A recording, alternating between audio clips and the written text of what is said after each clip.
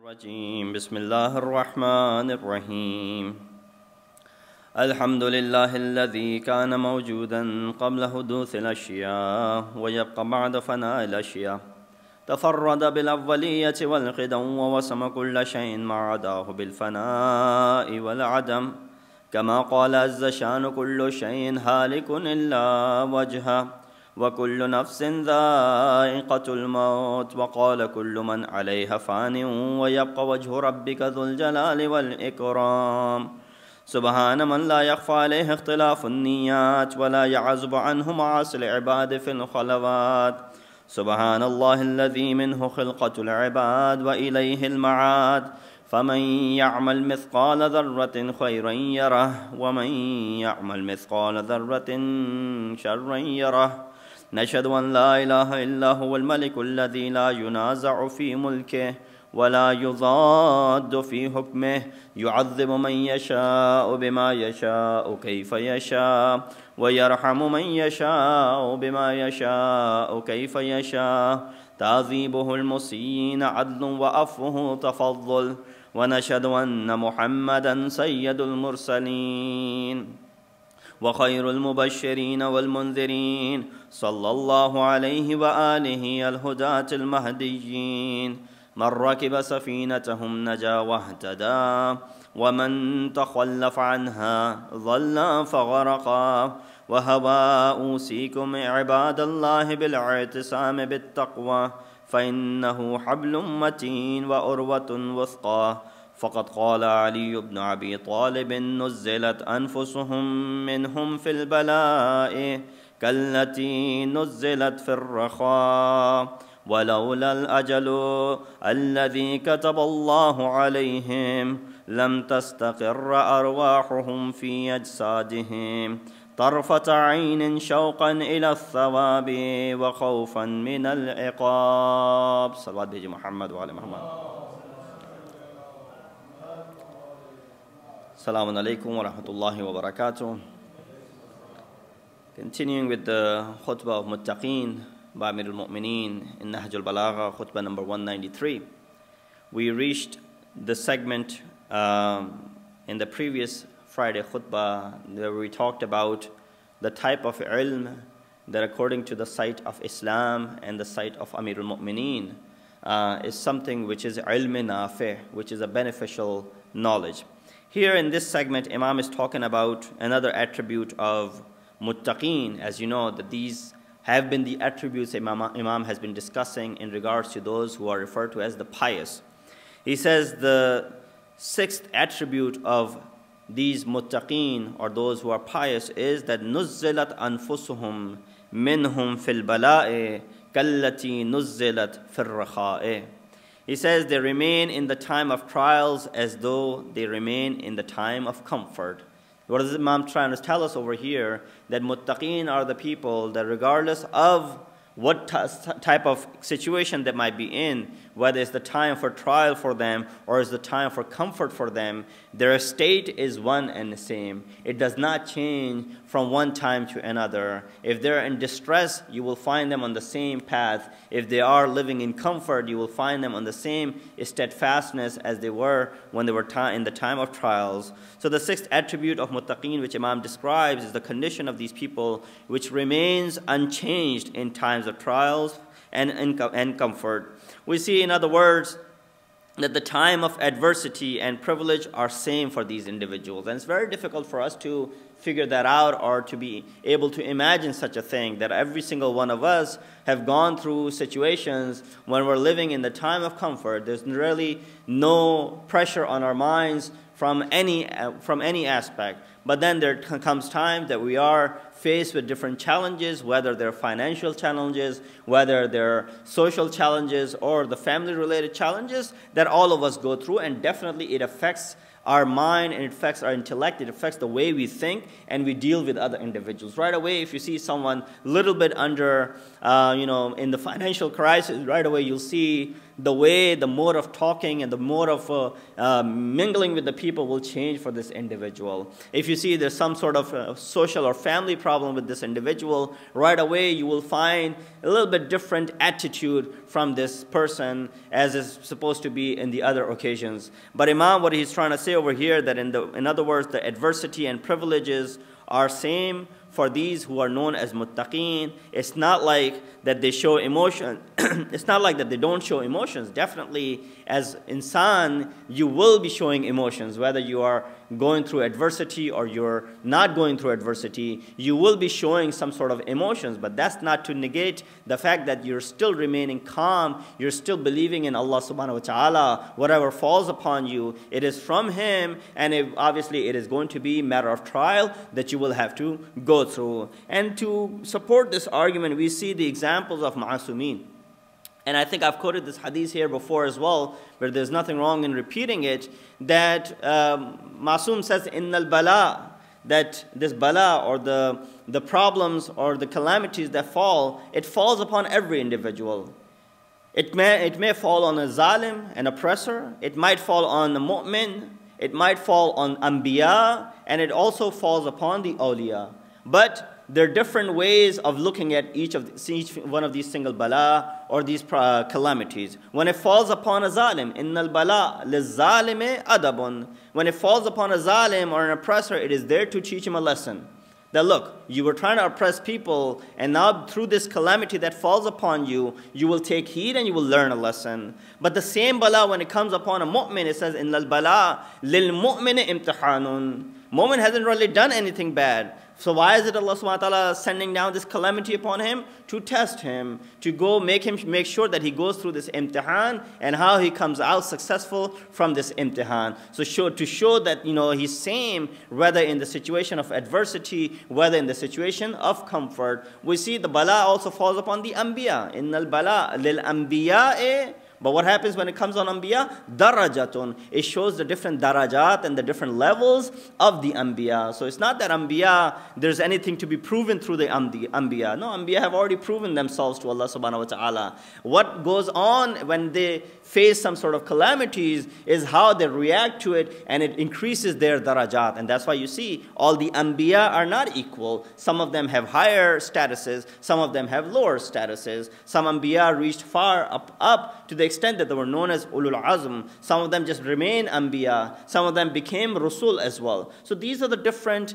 areas where we see the darajat of anbiya as well. So this calamity is for basically everyone. So it's not like they don't show emotions. Rather, it means that they remain calm, they don't show panic. Whatever befalls, they remain content because it is coming from Allah subhanahu wa ta'ala. This sentence could have few possible commentaries. One way of looking at it is that the, from the perspective of being in total submission and not complaining to Allah subhanahu wa ta'ala. Because when you are in total submission to whatever has happened to you, you will not be complaining uh, because Allah subhanahu wa ta'ala has made it come upon you. In this regard, we see the majority of the people are not like that.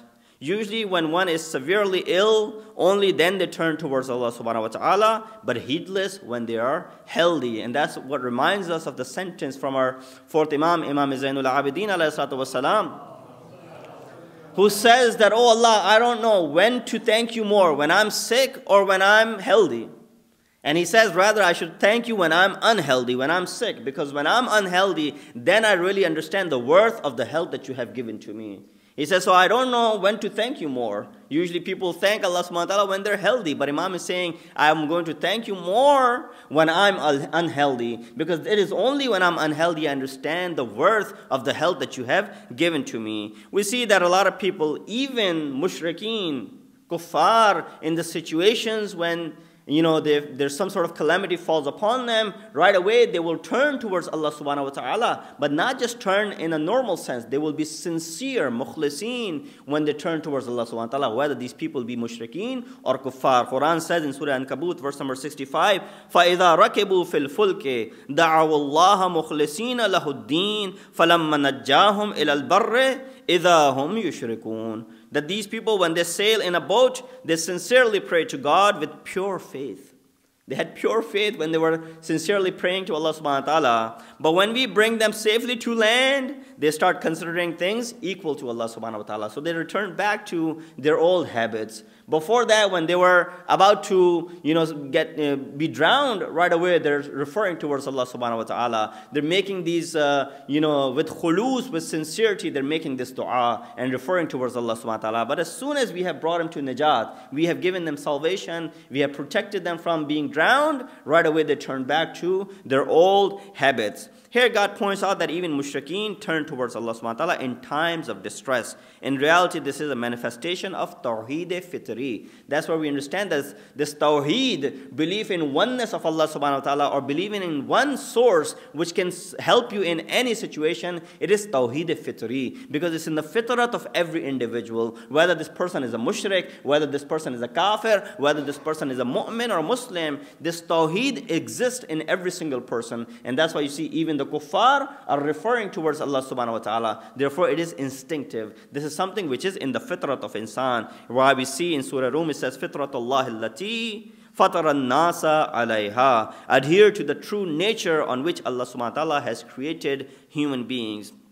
But the wrong customs and cultures, incorrect tabiyat or tarbiyat as well, erroneous advices and ill information are those veils of heedlessness that become obstacle in illuminating this light of Tawheed in insan. All of these curtains, all of these veils become the reason that insan does not come out of this Tawheed and think of Allah subhanahu wa ta'ala in that fashion. That's why Rasulullah said, قال النبي كل مولود يولد على الفطرة حتى يكون أبواه يهودانه يهودانه وينصرانه. He said, every child is born on the true nature.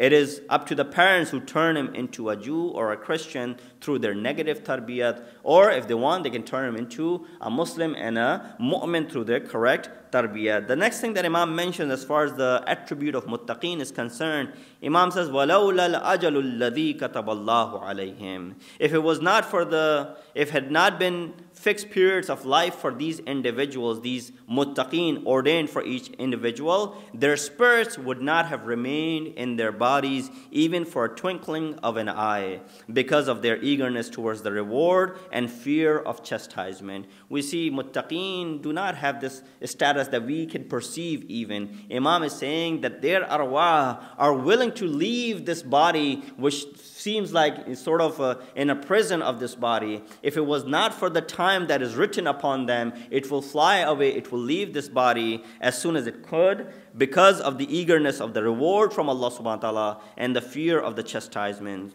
Another place, you know, this hadith is explained by Amir al-Mu'mineen Ali ibn Abi Talib alayhi wasalam. In regards to awliya Allah, Imam says, قال إن أولياء الله سكتوا فكان سكوتهم ذكرى ونظروا فكان نظرهم إبرا.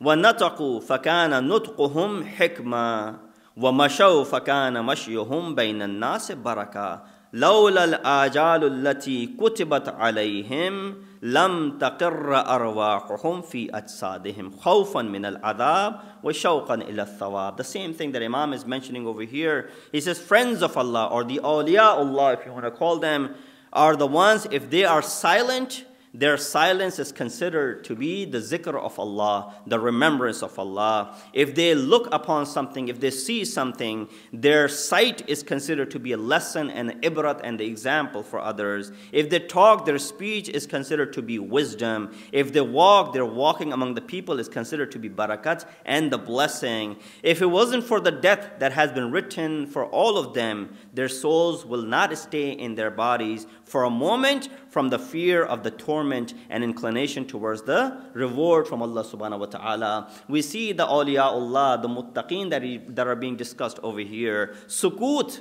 Silence becomes the zikr and the remembrance of Allah. Their nazar becomes the ibrat and the lesson for people. Their nutq, their speech becomes the wisdom for individuals. Mashyuhum, their walking also becomes barakah for those who are in the surrounding. In order for us to comprehend the meaning of this sentence, we must first understand a few terminologies that Imam is using, or rather the hadith that I had mentioned before that Imam is using over here. The word ajal that Imam uses is in the meaning of a specified time. Time. Qaza'ul ajl, I'm sure you've heard, means completion of a time period. When death approaches, it is also referred to as ajal. We say ajal of fulan person has reached, therefore Allah subhanahu wa ta'ala, or therefore that person is dead. Because of their ajal. So ajal is the specified time because it is the end of a person's life. Quranic verses and hadith prove that the fact that there is ajal for everyone, and there's word, these words of Amir al-Mu'mineen also point toward that. Quran also mentions that this ajal is not just for the individuals, but this ajal could also fall upon a whole nation. Where we say in Surah Araf, verse number 34, وَلِكُلِّ أُمَّةٍ أَجَلٌ it says, and for every nation, there's a specified term, there's specified time, and there will be ajal for every single nation. Forget about the people, but even for the nations, there will be ajal. The main reason for their death of a nation is probably their deviation from the truth, reality, justice, and imposing oppression, and indulging deeply into desires, being drowned in the wave of vanity and show off. We see Allah subhanahu wa ta'ala gives the examples in different surahs. Surah Fajr mentions the examples of the greatest of the powers of their time. Qawm Ad, Qawm Thamud, Qawm Fir'aun. But what happened to them? Allah gives example of these strong nations who are way far ahead of their own time, uh, uh, on their own times because of the advancement that they had done and they were strong with the things that they had created at that time. But because they deviated from the path, because they did not take care of the justice, they did not take care of reality and the truth, they fell into oppression. Right away, Allah subhanahu wa ta'ala destroyed those powerful nations. When we study the previous nations, we find such examples are in front of us. Point worth noticing in the above verse is that Allah said there is no delay, nor can they hasten it. You know, the ayat that I had recited from Surah Araf, uh, 34 says, وَلِكُلِّ أُمَّةٍ أَجَلٌ فإذا جاء أجلهم لا يستأخرون ساعة ولا يستقدمون For every nation there's a specified time. So when their time has come, they will not remain behind an hour, nor will they precede it. It will be that specified time that Allah subhanahu wa ta'ala has mentioned for them. So we see that Islam orders us, if we get sick, to go after the cure. You know, this does not mean if a person says, well, there's a specified time for every individual, then why should I even refer to a doctor? Some uh, factors then start, you know, coming out with such um, notions and try and lead people towards uh, the other side. Says, you know, it's worth mentioning over here that there's no delay, nor they can hasten it. So people might ask this question. You say, well, you know, if this is what Islam is ordering, then if I get sick, then why is there a need to go see a doctor? If Allah subhanahu wa ta'ala has written a specified time and if everything is predestined by Allah subhanahu wa ta'ala, then I should just remain in this way. So Islam orders us, if we get sick, to go after its cure through a doctor and medicine, even if the doctor is kafir. You don't have to worry about the religion of the doctor that, you know, there's a Muslim or non-Muslim mu'min or whatnot. No, go after it. When you see that even Amir al-Mu'mineen, when he was struck by the sword, when a Christian physician was brought to see Imam Ali. And the examples are all around. Second, we see Islam also orders us to maintain good health and take care of our diet. It doesn't mean because there's a specified time for every individual, you just let loose and the way your body and your physical health is going, you just let loose and let it be the way it wants to be. If there's a fear of life in certain area, don't go there. You know, don't put yourself into tahluka. Don't put yourself into halaka. Just rather, stay away from it. Don't raise the argument over here that if there's a specified time for me, then I'm going to go ahead and embrace all the challenges that there might be. Even if path of Hajj is troublesome and you fear for your life, then this wajib also becomes, this wajib is no longer wajib upon you. It's saqit upon you. It will not be, it will not remain wajib. Its obligation will not become taklif until the path is safe again for you. Sila rahim and giving sadaqah to prevent the mishaps and happening. And we see, yes, there is ajal for every individual. And I don't think if I'll have the time to go through the explanation of it, inshallah, next week, if Allah gives us the permission to recite, that we need to understand the fact that, yeah, there is ajal and there is time for every single individual. But that does not mean that you cannot delay that time. That does not mean that that time cannot proceed back. Yes, you don't have it in your hand, but there are certain things that can delay the process. The example is very uh, common that, that I'm sure you've heard the examples of such things that there was a person The Prophet saw he was not even a Muslim. He was going to work. Prophet said that this person will die today. This person goes to, he, he used to go to the jungle, you know, he cut the woods. When he came back, he was still alive.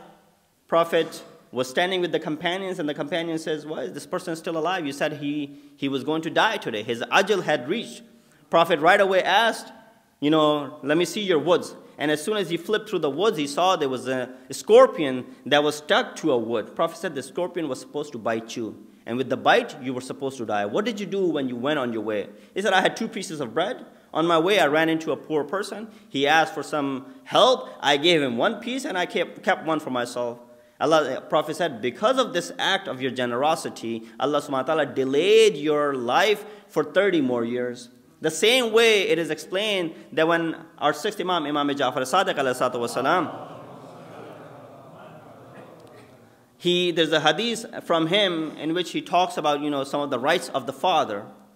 And he saw a, a son putting his hand onto father's shoulder and walking in front of the father with disrespect. And he was actually walking ahead of the father afterwards. Imam stopped him and Imam recited this hadith. He says, You know, there are certain rights of the father. Among the rights is that you do not walk in front of your father.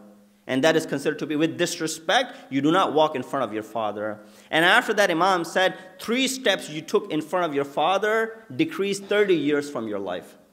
So sometimes these intangible things that we do, we do not realize. Sadaqah definitely increase the lifespan. And then sort of things that I explained just today, or this example by our sixth Imam, can also decrease the lifetime of an individual. Let us ask Allah subhanahu wa ta'ala to give us the tawfiq to be able to follow the teachings of Masumeen alayhi salam whenever our ajal is written, oh Allah subhanahu wa ta'ala, make sure that when we leave this world, we are completely in faith and we do not deviate from the path of the faith. إن أحسن الحديث وأبلغ الموعظة كتاب الله أعوذ بالله من الشيطان الرجيم بسم الله الرحمن الرحيم والعصر إن الإنسان لفي خسر إلا الذين آمنوا وعملوا الصالحات وتواصوا بالحق وتواصوا بالصبر